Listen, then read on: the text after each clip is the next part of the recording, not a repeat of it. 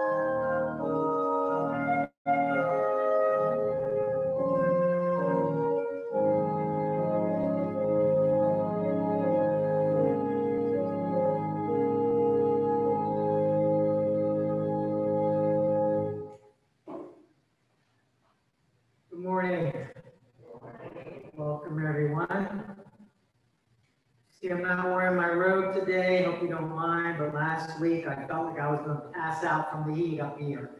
So so rather than passing out, I decided not to wear my robe. Um, Our school supply drive, uh, next Sunday, you still have time if you would like to bring some supplies in. And um, after the service, Christy's gonna gather them all up and bring them down to the Moravian Church. So thank you all who contributed so far, and um, again, still have one more week. Are there any other announcements this morning?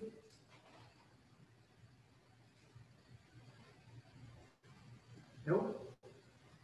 Okay, then, let's just take a moment to quiet ourselves and center ourselves and open our hearts to the Holy Spirit.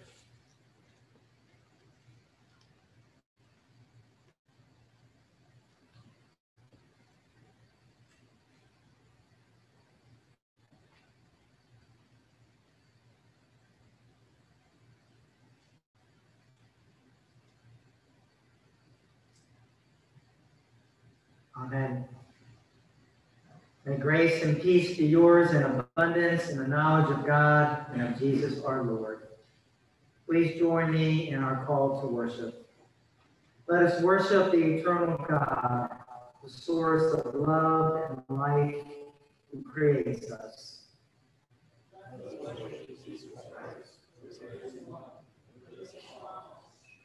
Let us worship the Spirit, the holy fire who renews us.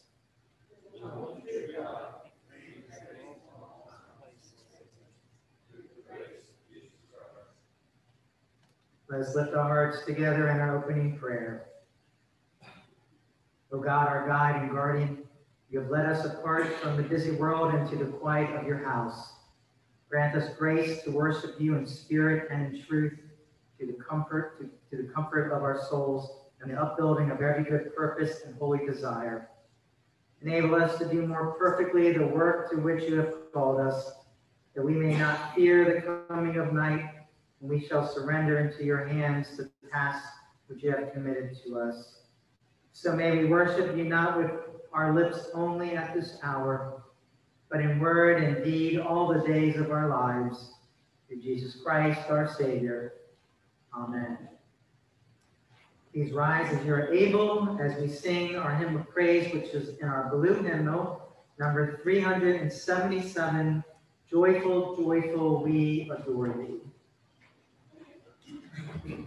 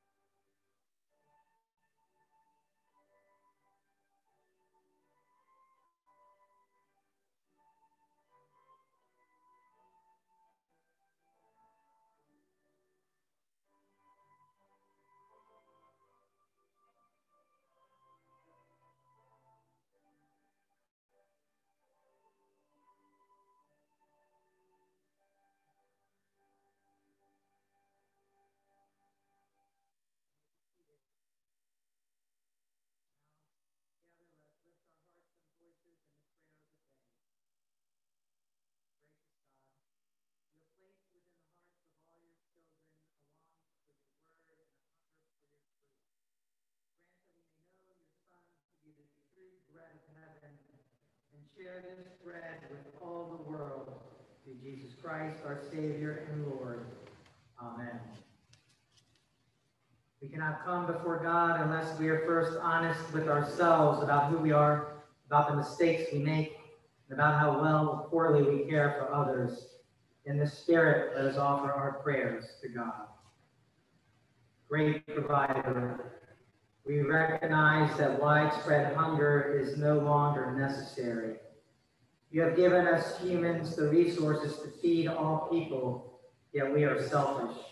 While we overfill our bellies with food and lay to waste the spaces needed for crops to flourish, others are crying out for crumbs from our tables.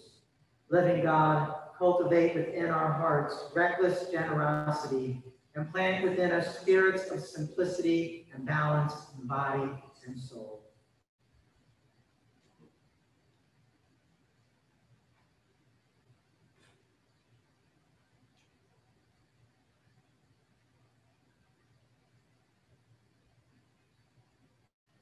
Though at times we fail to be generous, your generosity towards us is never ending. By sending Christ and the Spirit to your people, you have extended generosity beyond measure. Let us do the same.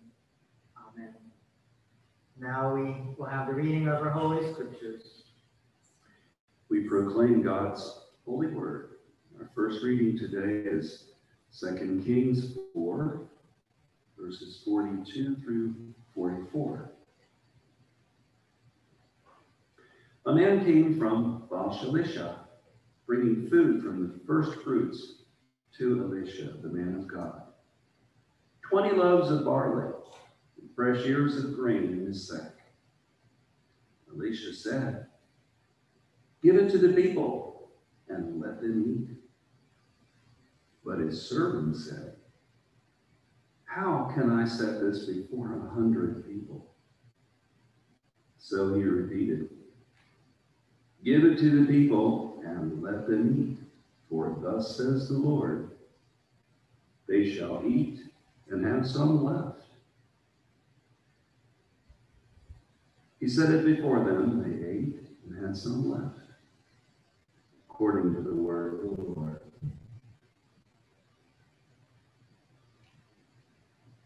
Second reading is Psalm 145, verses 10 through 18.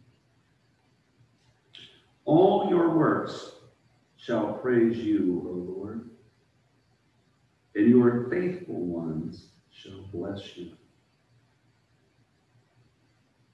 They shall tell of the glory of your kingdom and speak of your power, that all people may know of your power and the glorious splendor of your kingdom. Your kingdom is an everlasting kingdom. Your dominion endures throughout all ages. You, Lord, are faithful in all your words and loving in all your works. The Lord upholds all those who fall and lifts up those who are bound down. The eyes of all wait upon you, you give them their food in due season. You open wide your hand and satisfy the desire of every living thing. You are righteous in all your ways, and loving in all your works. You are near to all who call upon you, to all who call upon you faithfully.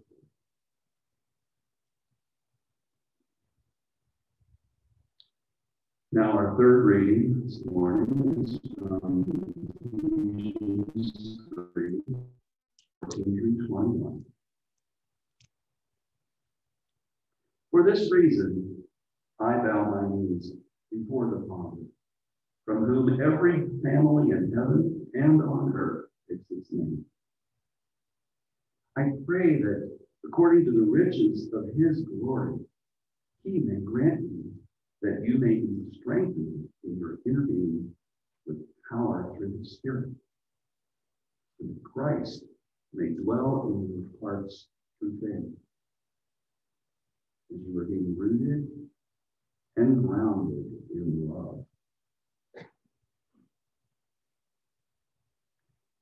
I pray that you may have the power to comprehend with all the saints what is the breadth and the length, height and depth, and to know the love of Christ that surpasses knowledge, so that you may be filled with all the fullness of God. Now, to him who by the power at work within us is able to accomplish abundantly far more than all we can ask or imagine.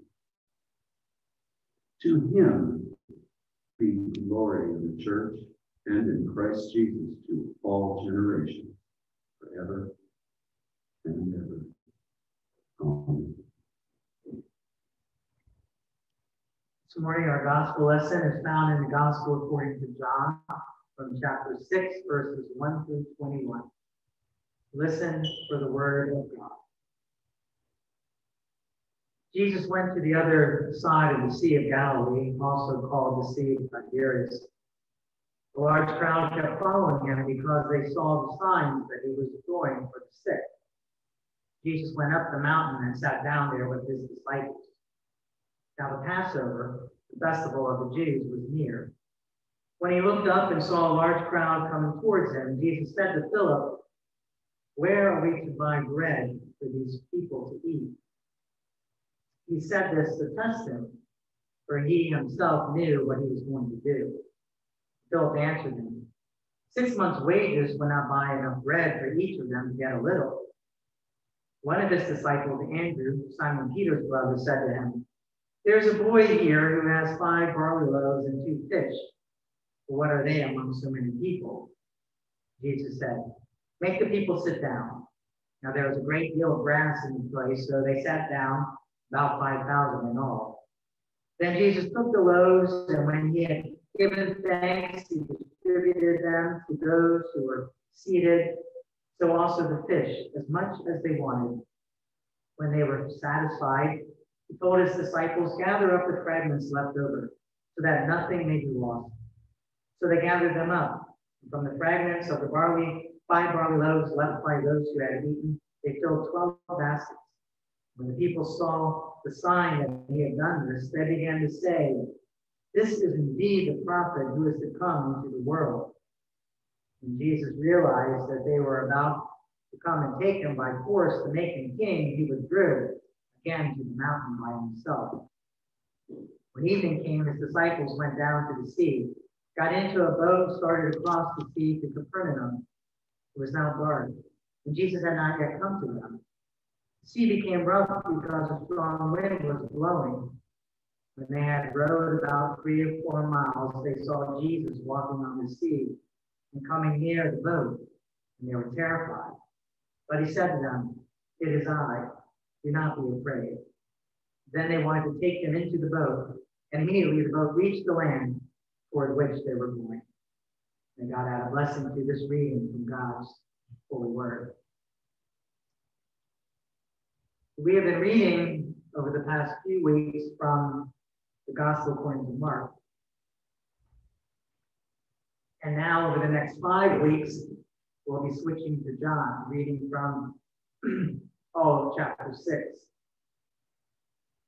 When we switch back and forth between Gospels, we need to be careful because we need to remember that each author was writing to a particular group of people and that each author had a particular agenda in mind, a message that they wanted to convey to that audience. And so for John, the message that John is teaching, teaching them and teaching us, is the power of God in Jesus and who this Jesus is. And we learn about who this Jesus is by what he does. That's often how we learn about who most people are by what they do. The words that Jesus uses in his discourses connect to the stories that we'll hear over these next five weeks. And these stories will show his signs, his amazing works, and connect it all to who Jesus is as God's Son, as the great I am. Another thing that we have to keep in mind when we're switching around from gospel to gospel is that some of the stories appear in one or more of the gospels, and you'll notice sometimes they don't, based on, again, on what the author's trying to convey, what the author thinks is relevant at that time.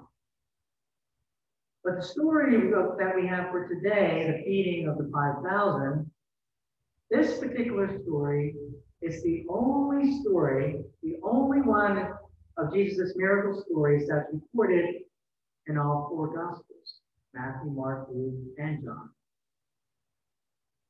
So you have to you have to imagine to yourselves that this is a very important story. Important, otherwise it wouldn't be included in all. The multiplication of those five small loaves and two tiny fish that becomes a feast for thousands. When I was rereading the story this week, I began to think about just how big that crowd was. Help me think about that because you know we we haven't been around crowds for a while, and now now the sporting events and things are just starting to to come back and you see these large stadiums and, and you see how many people are there 5,000, 10,000, 20,000. So it gave me a little bit better perspective of what 5,000 people look like.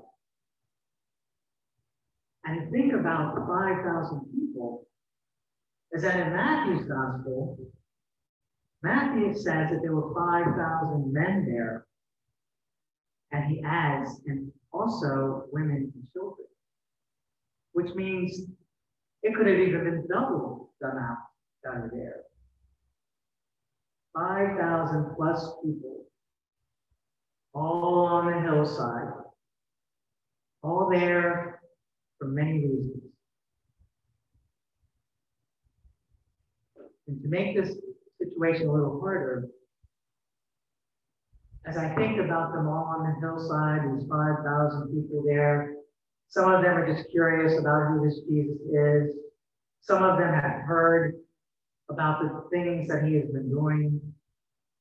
Some of them heard that he can heal, and so they're there for healing. As I think about them all on that side of the, the mountain, I think about it's not like being in a large megachurch where you have all the amenities. And this crowd, this crowd that's there is marginalized group. They are most likely tired and hungry. They, they might even be a little a little bit on the irritating side, you know, it might be a little irritable. And most likely they're there not at this point motivated by faith and repentance or love for Jesus, because they're just figuring out who this Jesus is. Again, they may be there just out of curiosity, or they may be there out of desperation because they are sick or a family member is sick and they don't know what else to do. This crowd may, at this point, have failed to grasp the true significance of the miraculous signs that Jesus has been displaying. The signs that we know point unmistakably to who Jesus is Jesus as the Son of God, the Messiah. So they flock in to see him. But at this point, they're not accepting of his words. They want the benefits of what he can do, but they're not sure that they're ready to follow him and grow in their spiritual lives. And so this sets the scene of where we are today. And the disciples are anxious. And I can imagine I would be anxious too if I were these disciples. And Jesus says, What are we going to do? We have this huge, hungry crowd, tired, maybe with short tempers, again, marginalized people, people wanting power and freedom, people wanting a new king, a king that will take them out from under this tyrannical government that they've been living under. And so Jesus asked Philip this question Where do we buy bread so that these people may have something to eat? And Jesus, we hear, is not asking this because he needs an answer. He, he's asking this as a teaching moment. And Philip says that even six months' salary couldn't pay enough to feed even a little bit for even the crowd to get each person to get a little bit. But Jesus is about to demonstrate as God in human flesh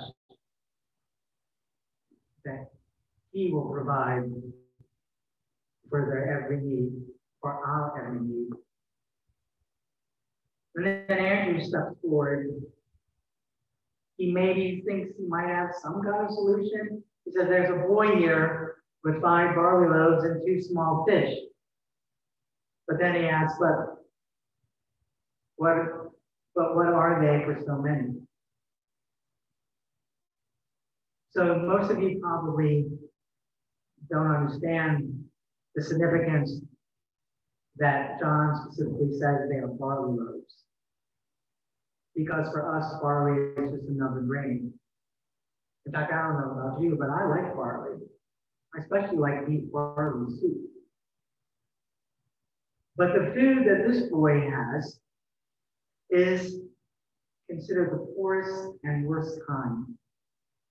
Barley is specifically prescribed in the Mishnah, which is a Jewish law book, as the bread which is to be used by an adulteress when she makes an offering for her sin. Barley was the grain of the poorest and the despised. And in fact, it was considered only fit for animals.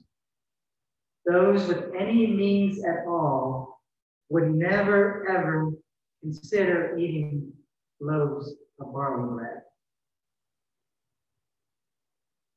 But that's what they have today. And so Jesus, in his asking of this question, what are we going to feed these people? He is bringing his disciples through this living parable. He's asking this careful question where they must confess to themselves that on their own, what they have is, is minuscule compared to the needs that they are faced with. And as I think about that, I think about those disciples looking out at this mass of people. I think about how many of us have felt and been in that same type of position or known someone who has been in that same type of position where the resources that we have are just a drop in the bucket compared to what we need. And it doesn't have to be just money or food. It can be things that affect our everyday lives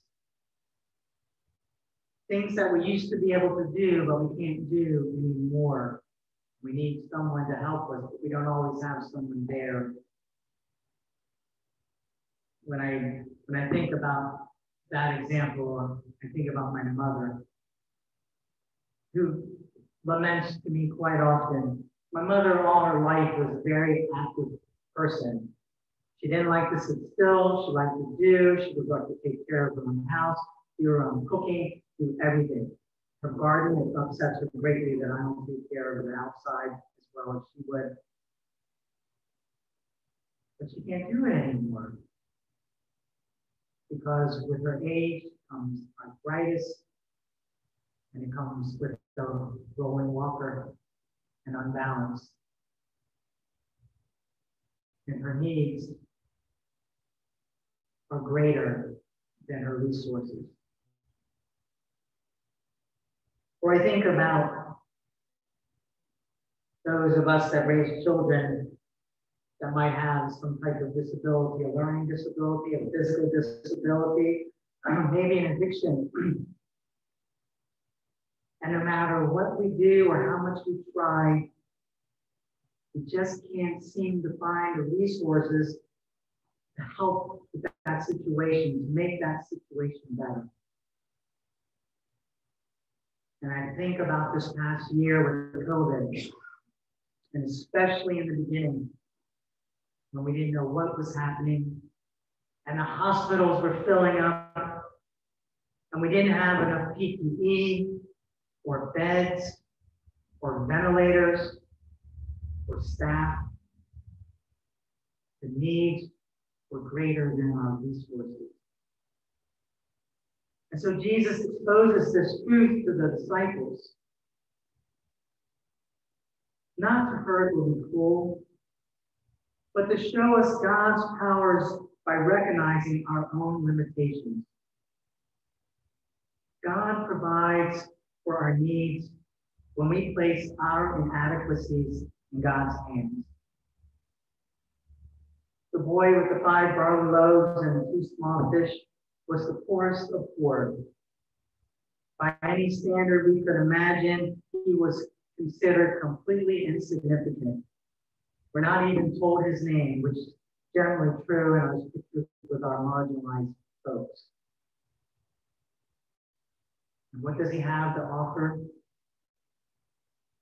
He has barley bread made from grain that's usually fed to livestock and two tiny fish. I can imagine he feels very insignificant. Sometimes I know the things I have to offer makes me feel very insignificant. But the boy who has so little gives what little he has to Jesus. What little he has, he gladly gives Jesus, places it in God's hands, and God works miracles with it.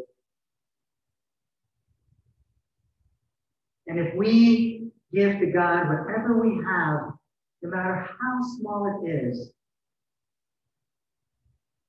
our time, our talents, whatever resources we may have, no matter how minuscule they may seem, no matter how insignificant they may seem, God can take them and multiply them. And as I think about that, I think about that with our little church. Because sometimes we think we're too small to do great things. But if we offer up to God whatever it is we have to offer, no matter how small, God can multiply that gift.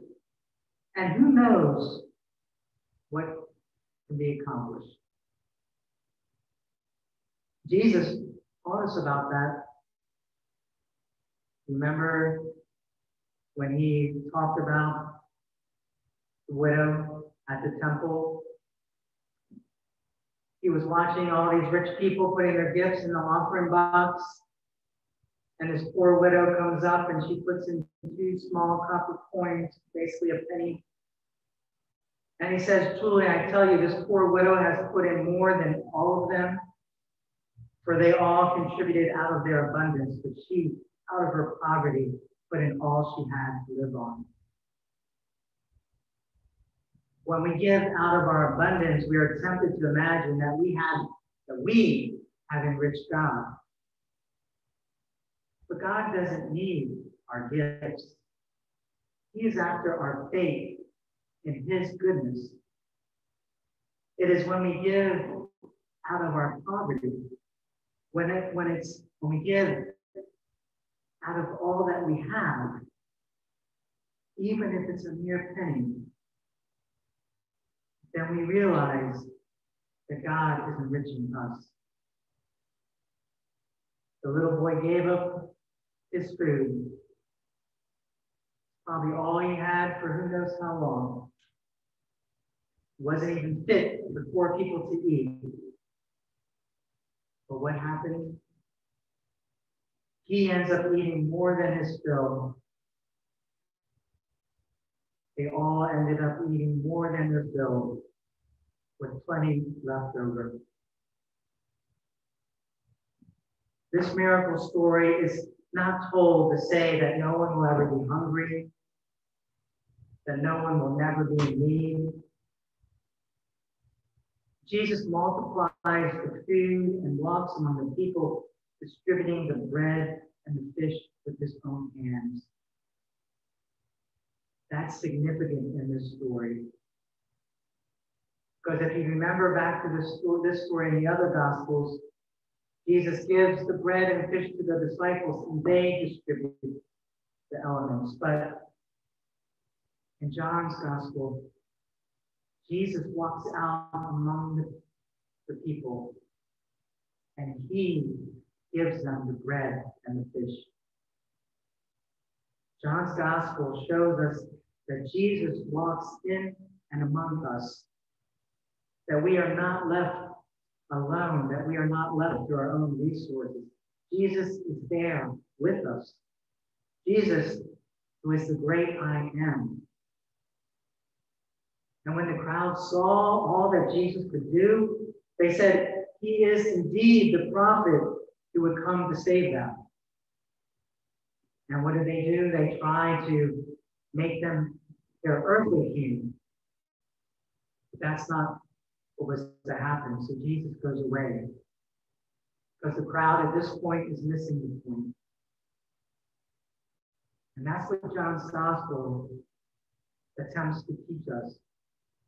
And over the next five weeks, this will be reinforced to us who exactly Jesus is and how we see that through his deeds of power. The fact that Jesus is the great I am, God's Son, our Savior, and through him, who knows what great things we can do, even if we only have a couple of small fish and a few loaves of stale bread. Let us pray.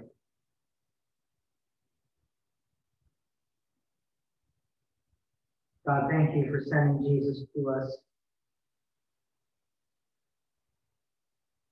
Thank you for giving us these scriptures and stories and ways for us to understand who Jesus is. We pray that we can open our heart to receive Jesus into our hearts and by our faith, we would not be afraid that no matter what we have, we would have the confidence to know that it is enough as long as we offer it to Jesus. Because in this way, you can do great things and as you do great things through our work,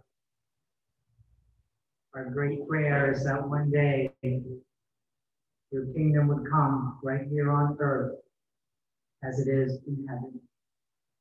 We pray this for Christ's sake. Amen.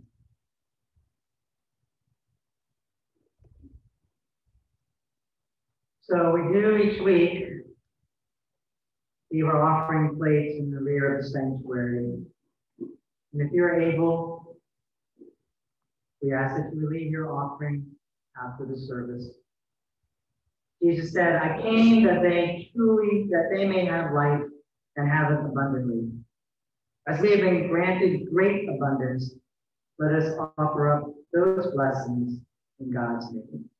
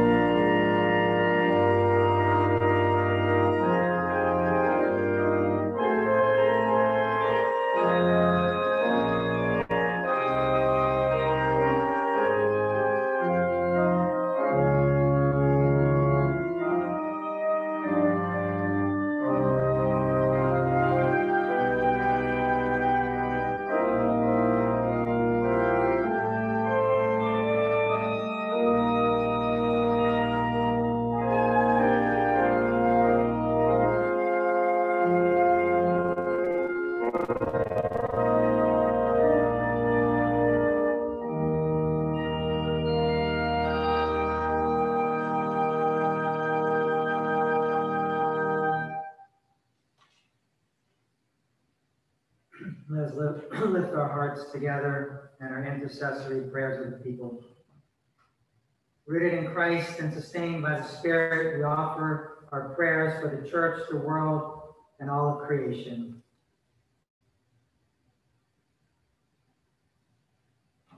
We pray for the church. Bless the ministries of our neighboring congregations. Empower churches throughout the world and encourage missionaries to accompany global neighbors. Kindle in us a spirit of collaboration that all people may know your loving works. Hear us, O God. Your mercy is great. We pray for creation. Send rain to lands experiencing drought and come to the aid of those enduring sweltering heat. Nurture wheat and barley crops grown for the nourishment of your people and conserve aquatic habitats and fish populations. Hear us, O God. Your mercy is great. We pray for those who govern. Cast out arrogance, selfishness, and corruption, and instruct those you lead to practice compassion and humility. Inspire them with a vision of the common good and a commitment to ensure that all who hunger are fed. Hear us, O God. Your mercy is great. We pray for those bowed down by heavy burdens, those who are unemployed or underemployed, those unable to find affordable housing, and those without health insurance. Console those who grieve and hear the cries of those who call to you for healing. Hear us, O God. Your mercy is great. We pray for this assembly. Deepen our resolve to use what we have to serve those in need. When we worry that we do not have enough resources for ministry, assure us of your abundance. Hear us, O God. Your mercy is great. Are there others that need, need to be lifted up today? I ask that you pray for Quinn Sorensen.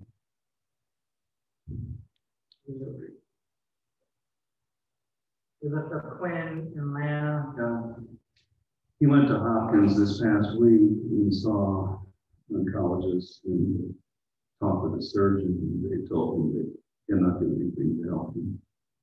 Uh, to return to Gettysburg and seek treatment there, which I presume is um, chemo radiation. That's to start this week. And uh, Pastor Sean, I'd like to share this uh, with you. Within this morning's service, you talked about barley. A dear friend of mine witnessed his sister and father with cancer, developed in stage four cancer. And um, they tried the chemo and the radiation and it didn't work.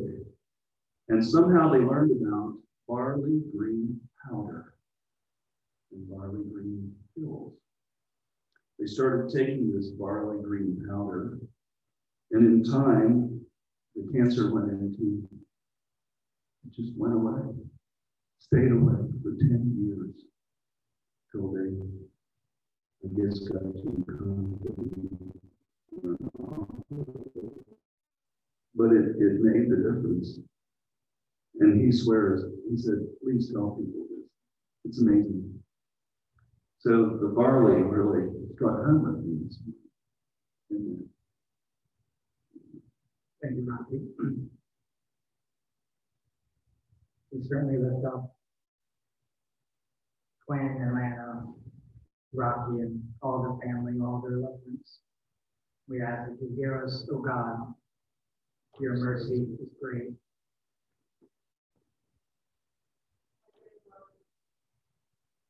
Hear us, O God. Your mercy is great.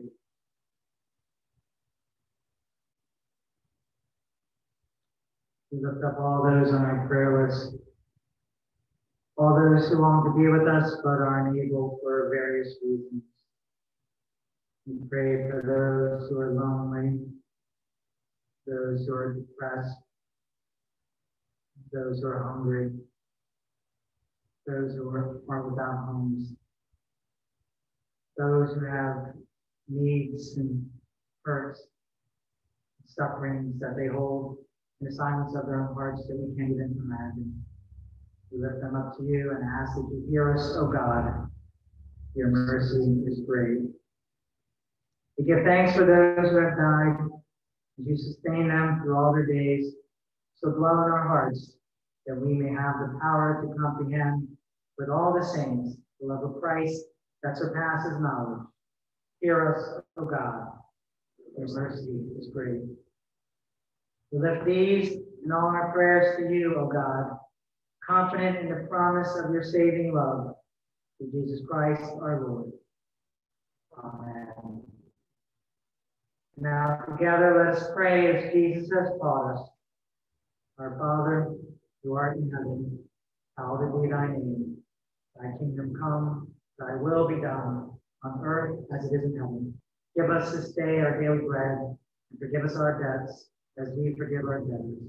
And lead us not into temptation, but deliver us from evil.